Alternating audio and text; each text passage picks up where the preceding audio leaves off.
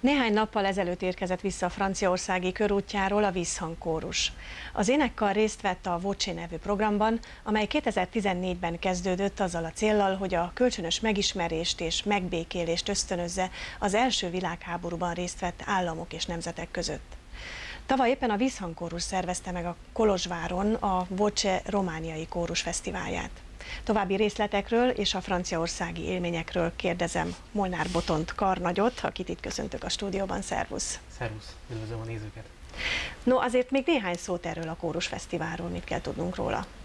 A Kórus Fesztivál úgy, ahogy mondtad, 2014-ben indult, és az első világháború centenáriumának alkalmával egy ilyen fesztivál sorozatot álmodtak meg a, a francia főszervezők, akik a, egy éneklést a békéért szerettek volna, így egy ilyen átívelő, éveken átívelő programot, országokat összevonva, és hogy az éneklésen keresztül próbáljuk meg egymást megtalálni, a közös hangot itt Európában megtalálni. A közös énekésen keresztül, a közös ugye, mert ez is része keresztül. ennek a programnak.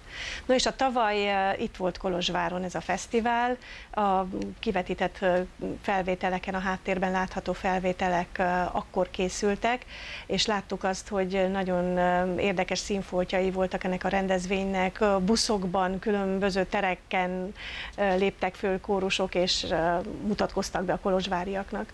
A másodlagos célja ennek a fesztivál sorozatnak a megemlékezésen és a békén, békéért való éneklésen túl az, hogy a, a zenét egy picit kimozdítsuk a megszokott koncerttermekből, a megszokott környezetből, és egy kicsit közelebb vigyük a, a hétköznapi élethez, és ennek volt az egyik mozzanata itt Kolozsváron az, hogy az autóbuszokon, a tereken énekeltünk, a sétatéren is volt egy koncert, illetve az egyik bevásárlóközpontban is volt egy ilyen flashmob-szerű megmozdulás.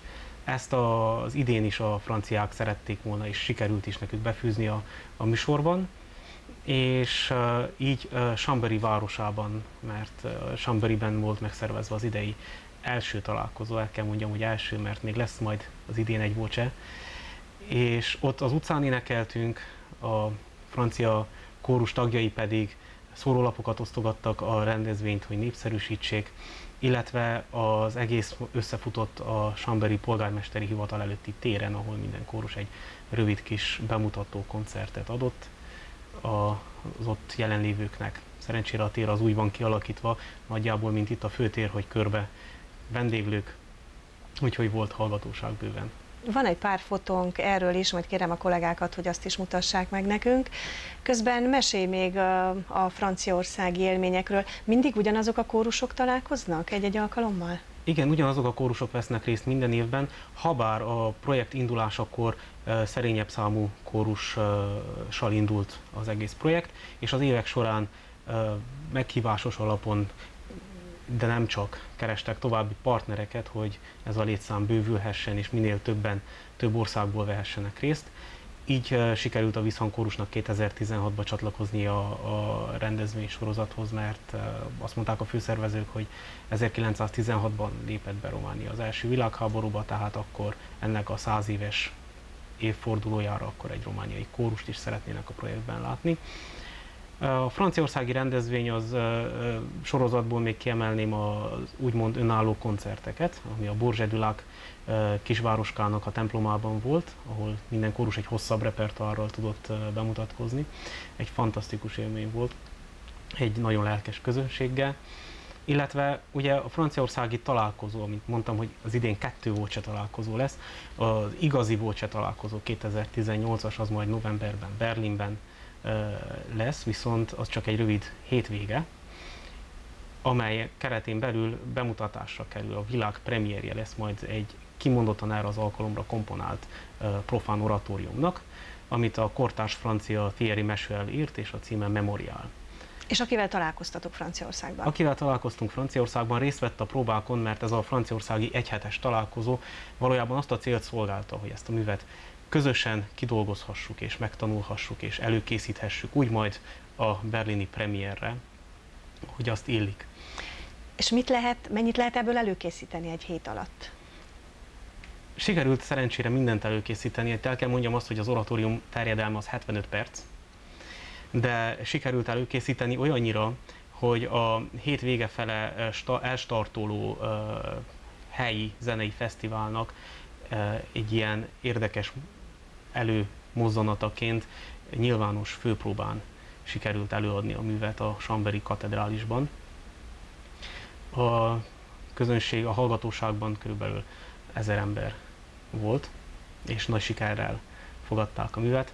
Hát akkor ez biztató a novemberi fellépésre vonatkozóan, és ugye novemberben Berlinben ez lesz a záró momentum ennek az öt éves projektnek. Igen, novemberben Berlinben, november 16 és 18-ai hétvégén egy, ott lesz az záró momentum, tehát a világpremiéri ennek a, ennek a fantasztikus alkotásnak, illetve annak ellenére, hogy záró momentum, azért mindenki pozitív és bizakodó abban, hogy a jövőben azért ezek a kórusok, akik részt vettek ebben a, a projektben, tovább folytatják a kapcsolatot, tovább tartják majd egymással a kapcsolatot. Éppen kérdeztem volna, hogy, hogy ez a programnak milyen hozadéka volt számotokra, visszhangkorus számára, és hogy, hogy hogyan összegeznéd egy picit ezt az élménysort, amelyet itt Kolozsváron is, de külföldi nagyvárosokban megéltetek ez a projekt által?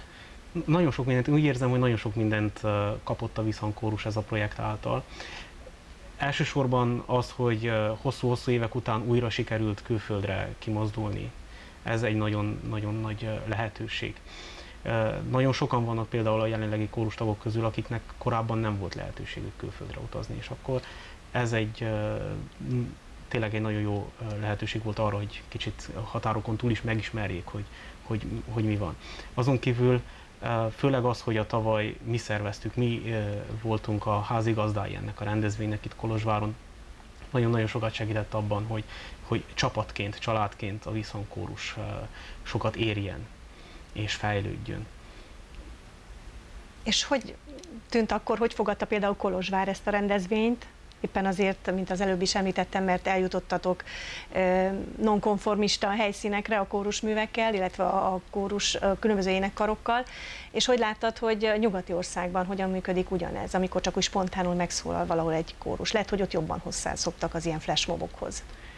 Van egy ilyen hozadéka, hogy jobban hozzászoktak nyugatabbra a flashmobokhoz, de pozitív élmény volt az is, hogy Kolozsváron is látszott a, a hallgatóságon, látszott az embereken, amikor megszólalt a buszban egy kórus, hogy, hogy tetszett ez nekük. Volt például Lengyelországban a 2016-os fesztiválon voltak érdekesebb vagy kevésbé kellemesebb élmények is, ahol, ahol szóltak, hogy ez itt nem szokás, úgyhogy inkább ne énekeljünk a villamoson. Tehát ehhez képest azért itt Kolozsváron sokkal előbb voltunk, és, és tényleg látszott az, hogy mindenki, mindenki szerette, mindenkinek tetszett, megtapsolták a kórusokat. És amikor külföldre mentek, vagy most például Franciaországba, ugye nem teljes létszámmal tudott odautazni a kórus, mert úgy tudom, hogy 40-45-ön vagytok tagok benne. Milyen műveket vittetek el? Hol mit adtatok elő? Sajnos nem sikerült az, hogy teljes létszámmal elmenjünk, mert ugye anyagilag azért egy megterhelő, illetve a másik dolog az, hogy voltak kórustagok, akiknek egyéb programokkal tevődött, nyári programokkal tevődött egybe ez a fesztivál, tehát nem tudtak velünk tartani, ezért meg kellett válogatni azt, hogy mit is tudunk elvinni. A fesztiválon 28-an vettünk részt az idén, és sikerült többszólamú műveket is olyan, tehát úgy értve többszólamú, hogy normál hagyományos kórusmű az négy szólamú kór, ö, alkotás, viszont ö, sikerült 8-10 szólamú kórusműveket is megszólaltatni. Ö, az idén kikötötték a szervezők, hogy ö, maximum három művet énekelhet önállóan egy ilyen rendezvényen a kórus. Ö, egy ö, terényede szerzeményt vittünk, egy kortárs bukaresti ö, alkotást, Florian Kosztának a, a művét, illetve egy kortárs spirituáli feldolgozást ezzel zártunk. Molnár Boton, köszönjük szépen a beszámolót, és meggyőződésem, hogy majd a berlini útról is fogunk kérdezni. Köszönöm, hogy itt voltál. Köszönöm szépen.